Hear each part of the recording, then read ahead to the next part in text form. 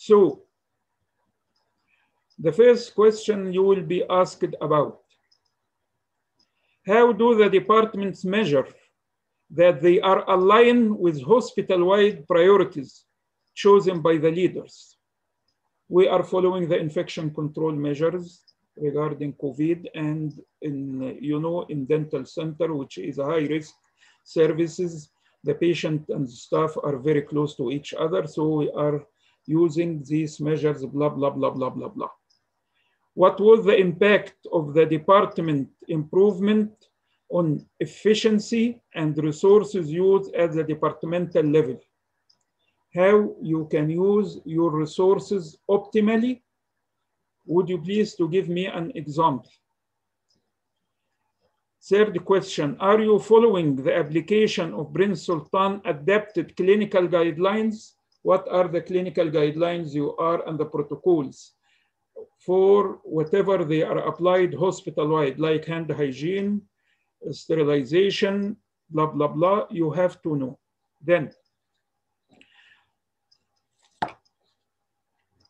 how, uh, how the priorities, hospital priorities work and how you are sure about that you are following. What is the follow-up monitoring that you are applied in your department?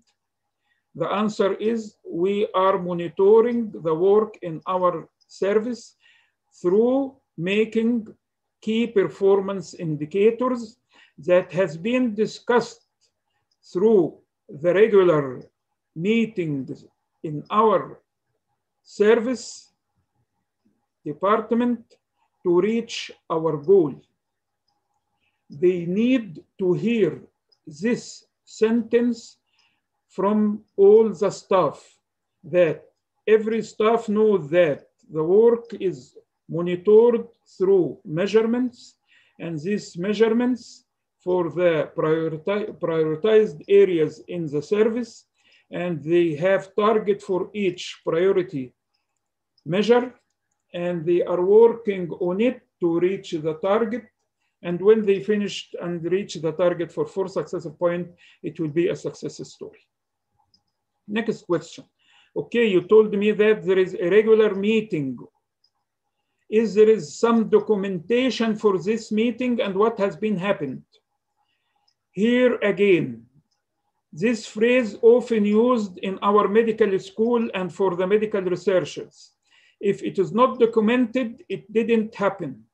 To encourage budding researchers to written down everything that happens while they are conducting studies.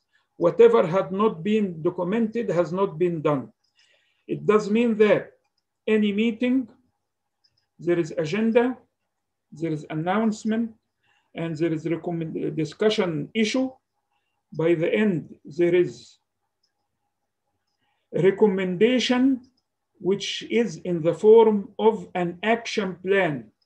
It does mean that we have the decision to do what, when, where, by whom.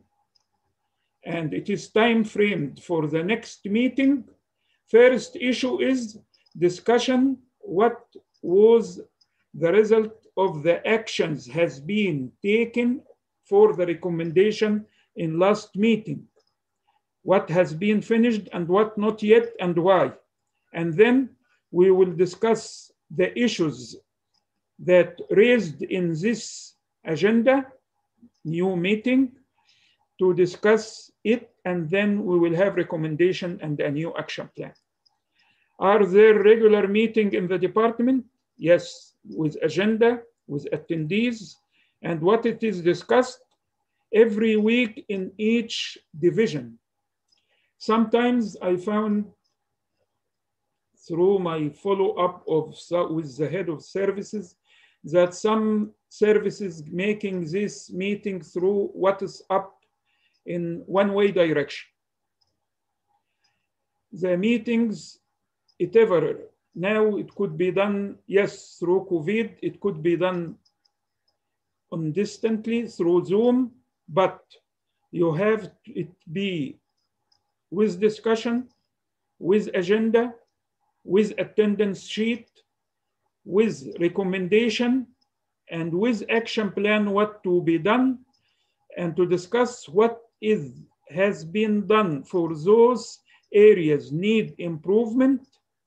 And on monthly basis there must be a dental center meeting. Uh, in dental center administration i have attended too much meetings they made it with agenda with attendance sheet there is a discussion there is an action plan and the action plan has to be followed by what to do, when to do, and where to do, by whom, and for the next meeting, what has been done according to the previous recommendation. So we can go the way step by step. These meetings has to be documented and including at the department, at the division level to be included by everybody. Everybody you can hear from the smallest staff some ideas that you are in need as a high administrative. How we can choose KPIs. KPIs, key performance indicators. ILOM, International Library of Measures. There is international library for of measures.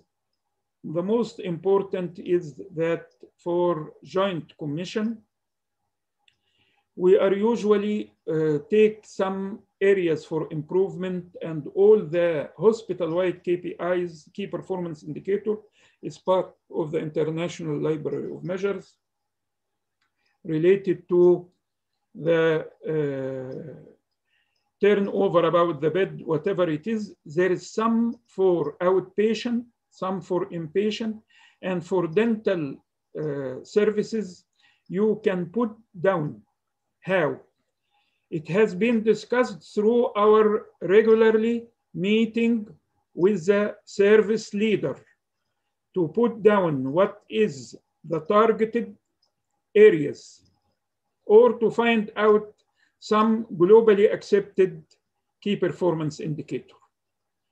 The services has to, the priorities has to be according to the risk of service to the patient, the daily impact on our activity, the cost, the influence of the measure to the process related to it, the time of application of the solution, and the resistance of work to participate because you will sit together, put down what is the areas for improvement, a long list. We will discuss how to in a certain area how to make prioritization according to what this is the library of measures of the National